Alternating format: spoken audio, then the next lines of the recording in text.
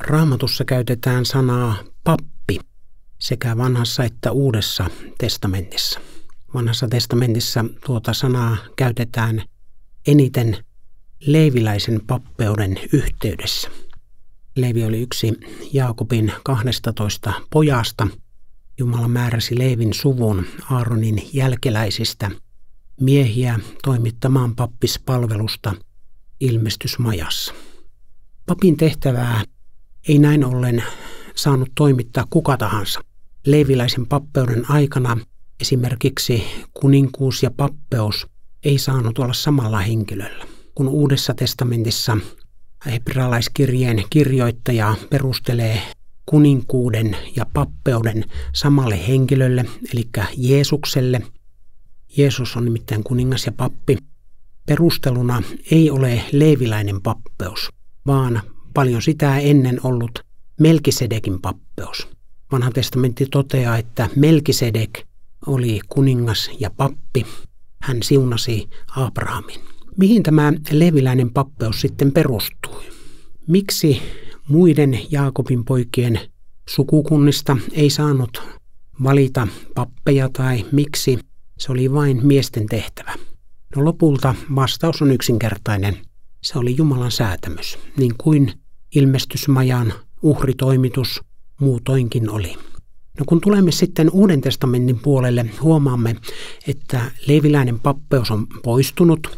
Uusi testamentti edelleen puhuu papeista, mutta sen sisältö on muuttunut. Uhripappeus on poistunut ja tilalle on tullut jotakin muuta. Nykyisin seurakunnan paimenta kutsutaan papiksi. Tämä käytäntö on itse asiassa ongelmallinen. Tarkastellaan asiaa Uuden testamentin valossa. Miten siellä käytetään tuota sanaa pappi? Uudessa testamentissa sanaa pappi ei käytetä kertaakaan kenestäkään seurakunnan työntekijöistä tai apostoleista, ei myöskään muista seurakunnan viroista, vaikkapa johtavissa viroissa hengellisessä työssä olevista. Seurakunnan johtajista Uusi testamentti käyttää muun muassa ilmaisuja vanhimmat, kaitsijat ja paimenet. Inhimillisen virheen vuoksi papeiksi on alettu kutsua seurakunnan paimenia. Uudessa testamentissa sana pappi liitetään jokaiseen Jeesukseen uskovaan henkilöön. Tästä on alettu käyttää myös ilmaisua yhteinen pappeus. Näin ollen jokainen kristitty on Uuden testamentin mukaan pappi. Papiksi ei tulla, ei vihitä, vaan siihen synnytään vedestä ja hengestä. Jokaisella Jumalan kansaan kuuluvalla on kasteen ja uskon kautta vihkimys yhteiseen pappeuteen. Kaikki kristityt ja vain kristityt ovat pappeja. Eli sanalla pappi ei Uudessa testamentissa tarkoiteta paimenta, vaan jokaista vedestä ja hengestä syntynyttä kristittyä.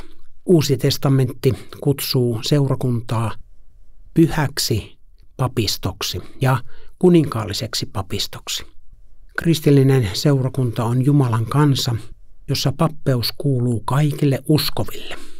Jos kaikki uskovat ovat Uuden testamentin mukaan pappeja, voiko kuka tahansa ryhtyä seurakunnan paimeneksi? Käsitelläänpä tätä kysymystä sitten seuraavassa jaksossa. Nyt me rukoilemme. Kiitämme Herra Jeesus sinua siitä, että sinä olet ylimmäinen pappi, sinä olet kuningasten kuningas, Herrain Herra ja tänäkin päivänä sinä varjelet seurakuntaasi. Rukoillaan Herra, että antaisit hyviä sanallisia uskollisia paimenia, niin että voisimme myös seurakuntalaisina niin turvallisin mielin niin elää seurakunnassa ja turvata sinun, joka olet syntisten ystävä. Kiitos, että sinä olet hyvä paimen, joka pidät laumastasi huolta. Amen.